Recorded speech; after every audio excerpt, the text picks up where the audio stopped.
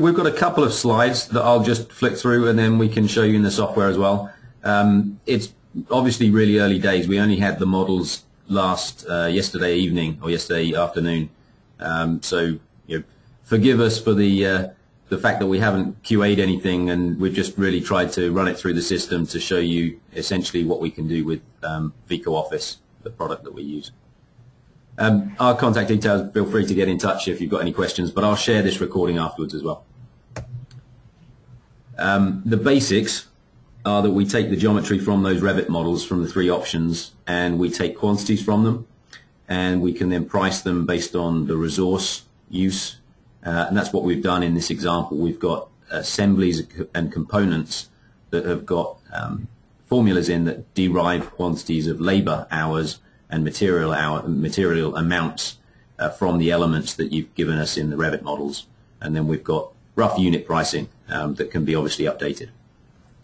Then we divided the building um, or the buildings into floors and can be divided further into locations um, for zones, for splitting slabs, etc.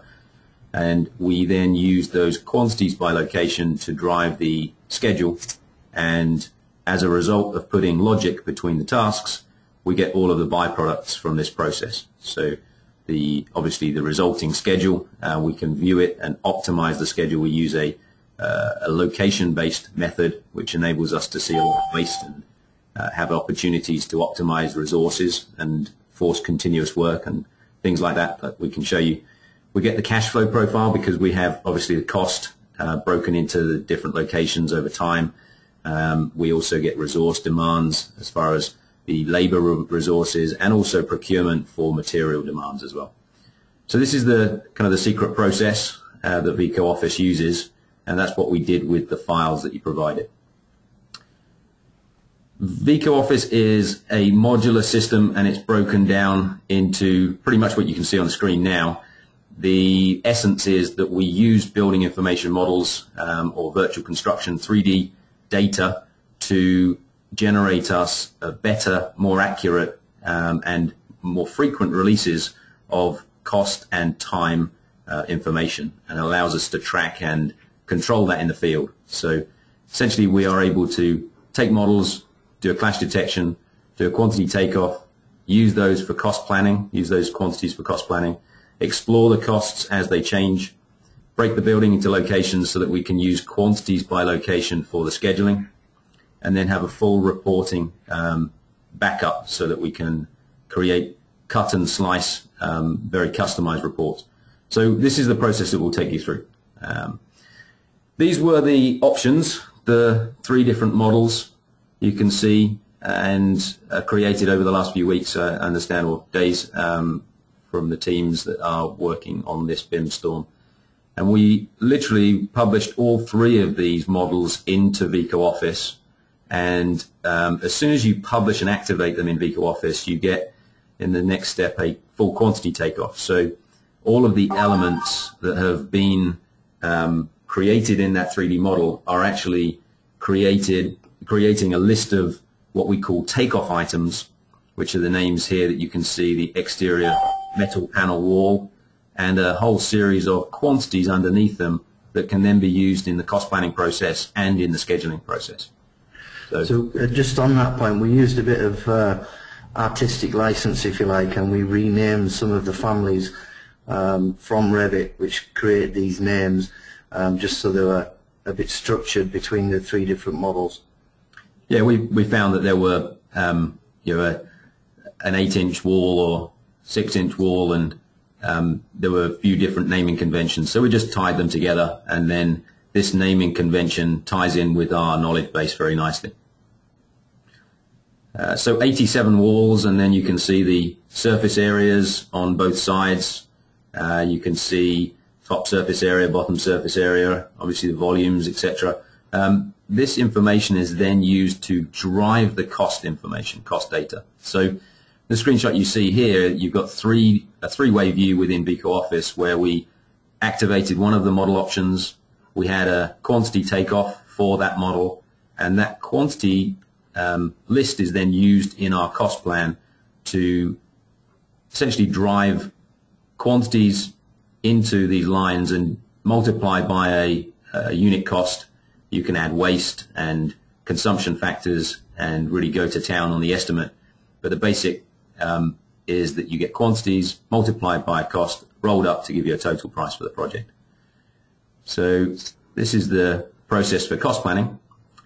And this is a more detailed view of that cost plan. The cost planner interface is very much like an Excel table, but it's got a power of a structured database behind it as well. Something that, um, and, and this is real, you know, information, but obviously the unit rates, as Ian would say, maybe um, need refining, and we haven't gone through the QA QC process on that. Any comment? Yeah, I, I just put some assumptions in to get us to a figure, and this is where, uh, depending on how you want to develop this, um, if you can give me more information and feedback on this, then we can build up a more detailed estimate to uh, however you want to have yeah, and, and guys, I think I mean for the purposes of the BIM storm, this this already is great. Um, you know, it's it's more about illustrating the potential of what we can do rather than getting you know real accurate data. Okay. So this is this is cool. this is great. Cool. Yeah. And, and, it's broken down in uniformat classification, um, and then underneath each element level, you've got the CSI master format and then beneath that you've got the resources as well, which aren't unrolled in this uh, screenshot, but gives you a, a way of combining lots of data. And one of the things when you're working with owners as well is that they might have their own costing system, um, costing control system. So we can actually add as many different columns in this data set as you like, and we can tag them with the owner's classification system as well and report using that whilst also containing, uh, com combining your own classification and coding system as well. So that's something that um, makes it easier to work with owners.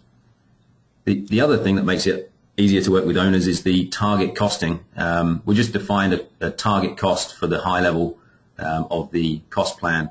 We can use that for target cost driven design, uh, understanding the differences between options and making sure that we're, as we're designing uh, all of the elements, quantities, multiplied by the cost that we've got in our cost plan are in line with our original targets, so the buckets of cash that we have allocated. And that's using this uh, three-way view.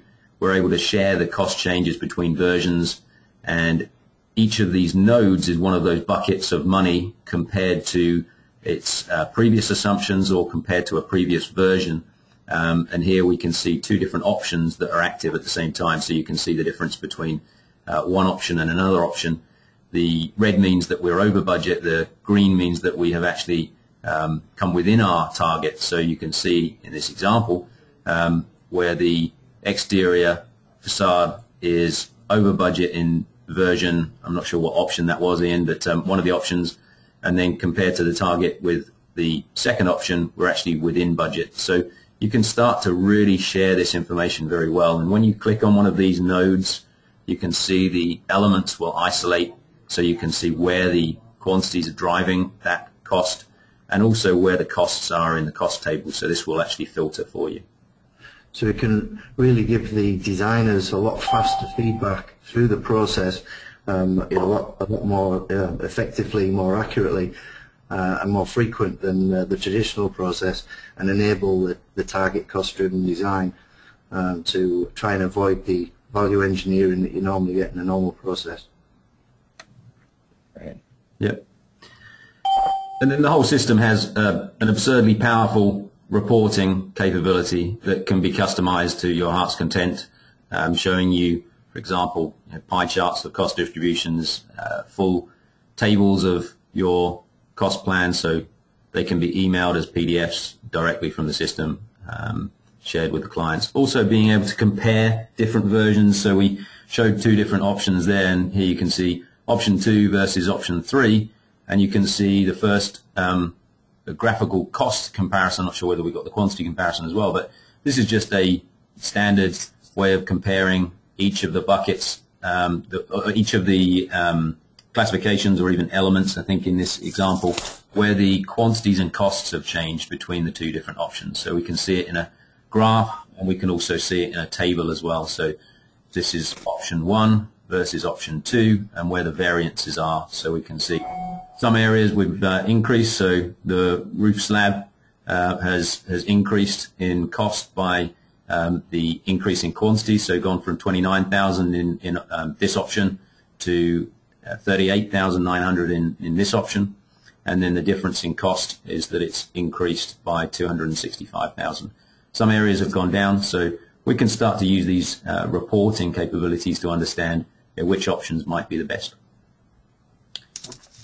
So guys, does this does this compare between different just different versions of the same model, or can you actually compare? Um, It's let's say you either. were It- yeah, whichever. okay. Yeah. Yeah, what, what I actually did was we put all three models into one project as if they were a design development or, you know, just a, a, to weigh up the options. And I did each project separately and then give that as a project version and that's what we're comparing.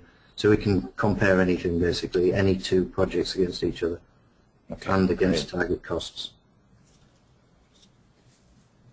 And then once we've got, so this screenshot shows you the estimate that Ian had built up on the right-hand side, and the left-hand side shows us our hierarchy of tasks for the schedule, and we associate the cost line items with their quantities and with their resource assumptions, so the number of resource hours assumed in that cost. We associate that assembly with a specific task. So in this example, we've got the reinforcement steel for the slab, um, one of the floor slabs, dragged into the rebar to floor slab task, and that generates us an amount of man hours that we would then use in the schedule so that we can always have a completely integrated and synchronized estimate and schedule at the same time. And it really does help our scheduling as well. So it means that we get a really good starting point for, for the schedule. Um, and it means also that sometimes we'll find items in the estimate that maybe we hadn't allowed for in the schedule. So they'll be remaining over here. You can see the, the ones that we have assigned are grayed out. The ones that we haven't assigned yet are the uh, bold. And we can ident- identify areas of missing scope in either the estimate or the schedule where we have one remainder left over, uh, but no task to associate it with it, or no cost line item to associate with an existing task.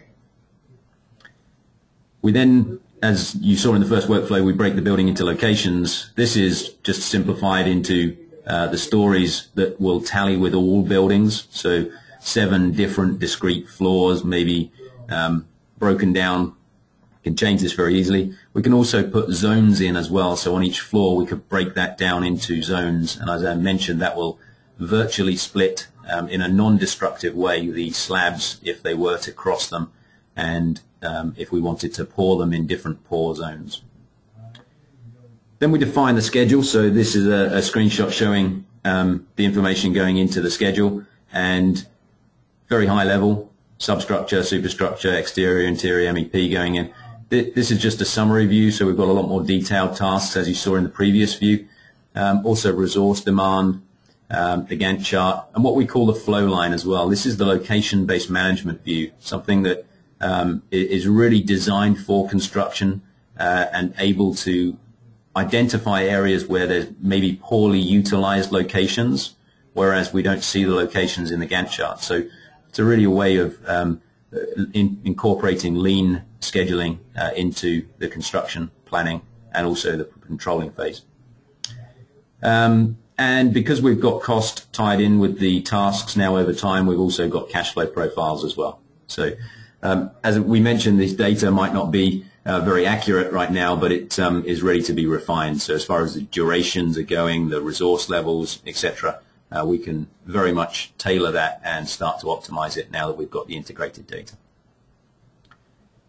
Um, once we've gone through that process, I mentioned that the 4D simulation is a byproduct. So essentially, uh, we can then come back and hit play, and it will start playing our simulation. So there's no tying of um, elements to tasks on a on a Gantt chart um, because of the integrated workflow using a 3D model to drive quantities into costs into into tasks.